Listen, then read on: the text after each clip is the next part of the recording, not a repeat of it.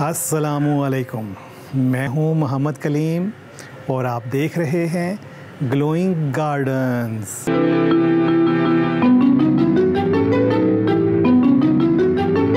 तो जी दोस्तों, ये बहुत सारी डेली लिलीज देख के आज आप समझ गए होंगे कि हमारे प्रोग्राम का जो मौजू है, वो है डे लिलीज बहुत से लोगों ने फरमाइश की मैसेज किए कॉल्स की कि हमें डे लिलीज़ के ऊपर जो है इंफॉर्मेशन चाहिए और आप एक वीडियो इस पर भी बनाएँ।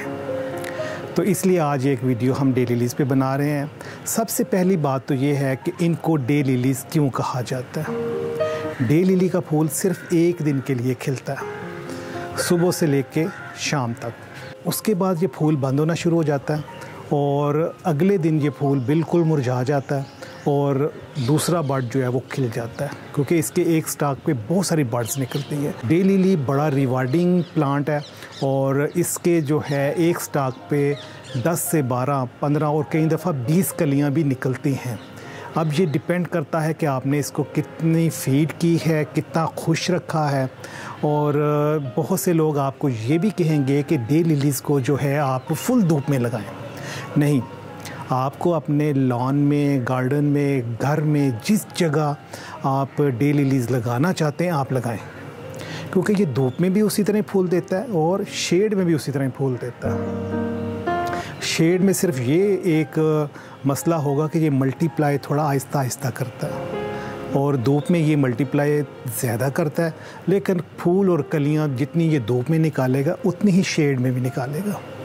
अब ये जो आपको मेरे डेली लीज नज़र आ रहे हैं, यहाँ धूप की एक किरण भी नहीं आती। सारा साल यहाँ पे छाँव रहती है। और आप देखें, यहाँ पे भी डेली लीज को फूल किस तरह आए हुए हैं बर्ड्स बने हुए हैं, बहुत ज़्यादा बर्ड्स हैं। छाँव में और धूप में लगाने का एक फ़र्क ये भी होता है कि धूप में आपके जो फूल हैं, वो तीन चार घंटे बाद उनकी शेप भी ख़राब होना शुरू हो जाती है, रंग भी ख़राब होना शुरू हो जाता है। लेकिन जो छाँव में लगे होते हैं, वो शाम तक आपको खूबसूरत ताज़ा नज़र आते हैं।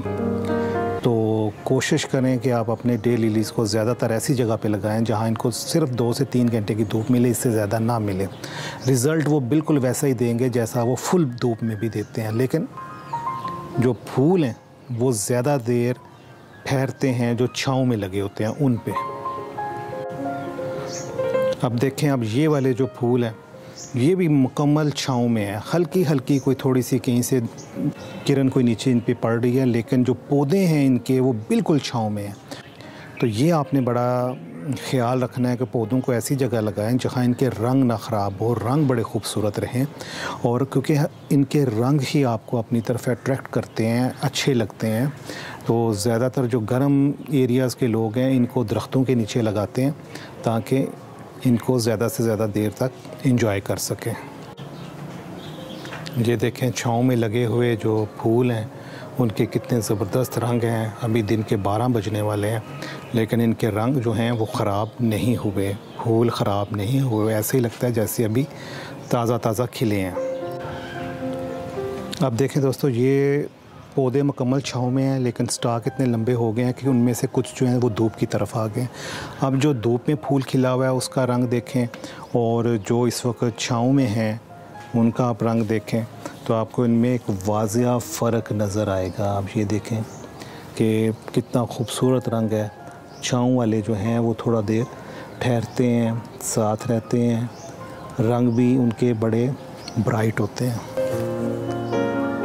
अब जैसा कि ये आप देखें, ये फूल कल खिला था। आज फूल की ये सूरत हाल है। तो इसलिए फूलों को आप साथ साथ काटते भी रहें, साफ़ करते रहें। ये दो तीन दिन के बाद ख़ुद भी गिर जाते हैं नीचे। ये नहीं कि ये साथ ही चिपके रहते हैं, ये दो तीन दिन के बाद गिर जाएँगे। लेकिन क्योंकि हमने फूलों को साफ़ रखना होता है, ये हमें अच्छे ही तभी लगते हैं कि इनमें साफ़, खूबसूरत कलरफुल रंग हमें नज़र आए, मुरझाए हुए फूल उसके अंदर ना हों। अपने पौधों को मैं रोज़ देखता हूँ सुबह उठने के बाद तो मेरे हाथ में कटर ज़रूर होता है। फिर मैं ये जो मुरझाए हुए फूल हैं, उन्हें मैं काट देता हूँ। और ये देखें, अब ये जो फूल है, अब ये खिलना शुरू हो गए ये दो खिल रहे हैं, ये भी खिल रहा है। अब ये कल सुबह तक ये खिल जाएँगे। और ये जो बाकी हैं, ये बंद होना शुरू हो जाएँगे रात को।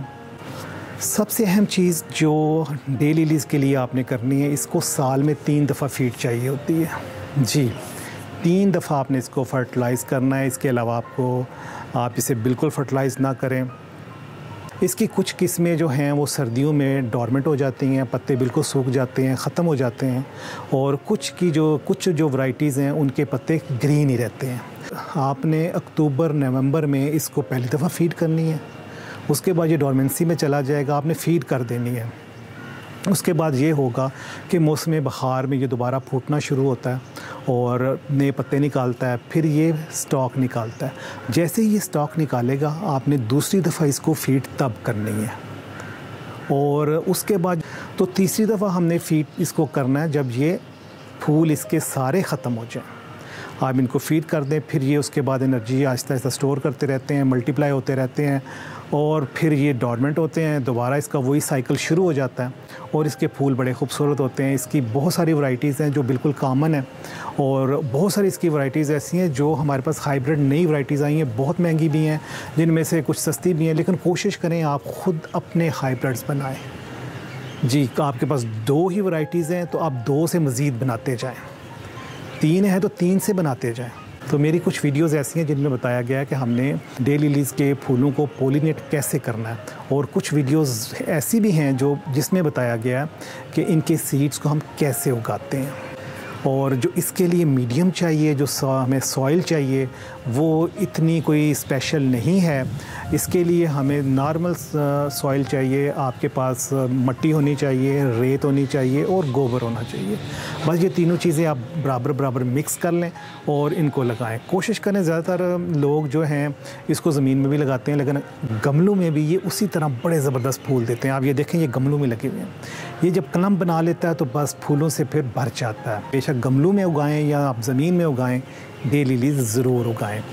और इसके जो गमले हैं, या आपने अगर कोई लॉन में भी लगाया है तो कोशिश करें दीवार से कम अज़ कम तीन फुट का फासला हो। क्योंकि दीवार से जो हीट रिफ़्लेक्ट होकर इन पर पड़ती है तो इसके फूल बड़ी जल्दी ही मुरझा जाते हैं, ख़राब हो जाते हैं। तो कोशिश करें ऐसी जगह लगाएँ जहाँ इनको दो से तीन घंटे की धूप मिले ताकि वो धूप, जैसे ही सुबह की धूप इनसे हट जाए, छाँव आ जाए तो ये फूल शाम तक आपके साथ हों। अब इस वक्त शाम के साढ़े चार और पाँच का दरमियान का वक्त है। आप देख लें ये फूल कितने फ्रेश हैं, क्योंकि ये छाँव में गमले पड़े होते हैं। इन पे सिर्फ़ सुबह की दो से तीन घंटे की धूप आती है। कुछ मेरे जो गमले हैं, वो बिल्कुल धूप में भी हैं, लेकिन उनके फूल इस वक्त बिल्कुल जल चुके हैं, क्योंकि सारा दिन धूप बड़ी तेज़ रही है तो उससे ये फूल फ़ौर ख़राब हो जाते हैं। तो कोशिश करें ऐसी जगह रखें जहाँ इनको दो से तीन घंटे की धूप मिले और आप ये फूल सारा दिन इंजॉय करते रहें। फिर आपने एक काम और ये भी करना है कि इन पौधों के साथ नीचे जो पत्ते होते हैं, वो साथ साथ ब्राउन होना शुरू हो जाते हैं। अब आप देखें इनके साथ भी ब्राउन पत्ते ये हैं, नीचे काफ़ी सारे। इनकी आपने साथ साथ सफ़ाई करते रहना। अब ये पत्ते इसके ब्राउन होना एक नेचुरल फिनमिना है। इससे बिल्कुल आप ना घबराएँ, आप इनके पत्ते ऐसे साफ़ करते रहें, हाथ से भी ये आराम से उतर जाते हैं। आपने इनको साथ साथ साफ़ करते रहना है। जितना आप साफ़ करेंगे, आपके पौधे उतने ही अच्छे सेहतमंद होंगे और अगर आप इन पत्तों को फेंकें नहीं और इनको आप अपनी कंपोस्ट बिन में डालते जाएँ तो ये बड़े ज़बरदस्त आपकी कंपोस्ट के लिए हैं, क्योंकि ये बड़े साफ़ सुथरे पत्ते होते हैं। ये देखें, इस साइड पे भी ये ब्राउन पत्ते आपने साफ़ करते रहना। अगर आप चाहते हैं कि आपके पौधे साफ़ सुथरे खूबसूरत नज़र आएँ तो एक तो आपने इनके जो डेड हो जाते हैं फूल, वो रोज़ साफ़ करने हैं और इसके नीचे जो पत्ते ब्राउन हो जाते हैं, उनको भी साफ़ करते रहें। ये दो टिप्स इसकी बड़ी अहम है। आपने इन पर बड़ी तोज्जो देनी है और आपने इनका ख़ास ख्याल रखना है। और अगर आप इनको गमलों में लगाएँगे तो गमले ऐसे हों जिनमें ड्रेनेज बहुत अच्छी हो। तो इसको पानी बहुत ज़्यादा चाहिए। तो पानी इनको खूब लगाएँ आप। डेली आपने इनको पानी लगाना है, ज़मीन में लगे हैं तब भी डेली पानी लगाना है, अगर गमलों में है तो तब भी आपने इनको डेली पानी लगाना है। ये स्टॉक जो हैं, ये खुश्क हो जाते हैं। जब तक ये खुश्क ना हों, आपने इनको उतारना नहीं है, तोड़ना नहीं है, इनको लगे रहने देना है, क्योंकि इनके अंदर एनर्जी होती है। जो इसके नीचे ट्यूबर्स हैं, रूट्स हैं, वो उसको अपनी तरफ़ खींच लेती हैं, स्टोर कर लेती हैं। तो इसलिए जब तक ये स्टॉक इसके खुश्क ना हो, आप इनको काटेंगे नहीं। अब जो डे लिली का फूल होता है, ये पूरा दिन खिला रहता है और शाम के टाइम फूल फिर बंद होना शुरू हो जाता है। इस तरह ये फूल बंद हो जाते हैं। अब देखें ये फूल थे, अब ये कल खिले थे, आज ये बंद हैं।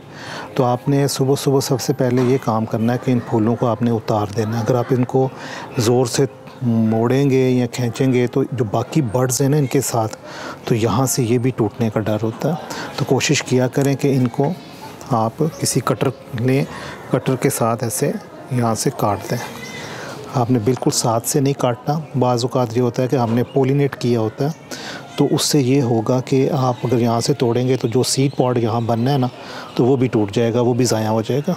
ये देखें, ये ऐसे अगर तो ये पौधे के साथ भी रहें तो दूसरे तीसरे दिन ये ख़ुद ही नीचे गिर जाते हैं। लेकिन क्योंकि हमने इसको खूबसूरत बनाना है, देखें, अब ये सामने आ गया, अब ये फूल अच्छा नहीं लग रहा तो हम इसको यहाँ से ऐसे काट देंगे। अब देखें, ये अच्छा लगता है।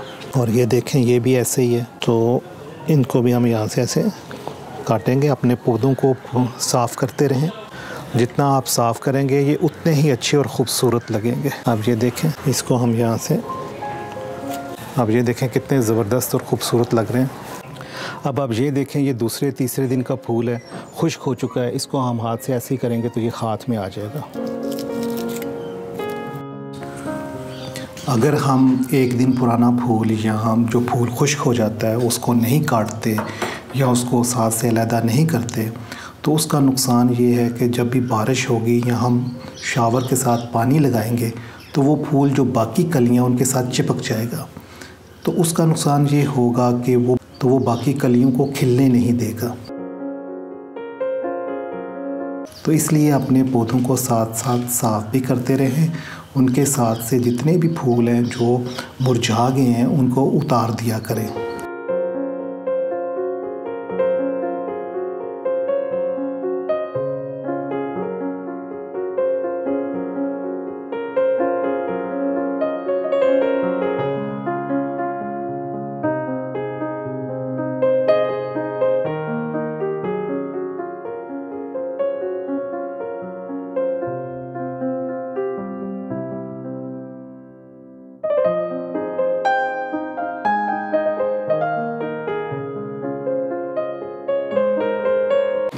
अब ये जो हैं, ये भी हाइब्रिड वाइटीज़ हैं। ये मैंने खुद पोलिनेट किए हुए हैं सीड से उगाए हुए हैं।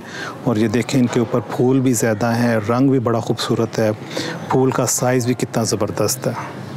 अब ये जो देखें, ये एक रजिस्टर्ड वैरायटी नहीं है, ये हाइब्रिड है। बीज से उगाया गया है कितना खूबसूरत रंग है। ज़रूरी नहीं कि आपके पास ब्रांडेड वैरायटीज़ ही हों रजिस्टर्ड वैरायटीज़ भी हों। ये तो एक रजिस्टर्ड वैरायटी है, लेकिन आप इनको लोकल जो हाइब्रिड लोगों ने बनाए हुए हैं, आप वो भी लगा सकते हैं। तो जी दोस्तों, मुझे उम्मीद है आपको ये प्रोग्राम भी पसंद आया होगा। इस तरह की अच्छी अच्छी वीडियोस देखने के लिए हमारे चैनल को सब्सक्राइब करें और बेल आइकन को प्रेस करें। अगले प्रोग्राम तक इजाज़त दीजिए अल्लाह हाफिज़।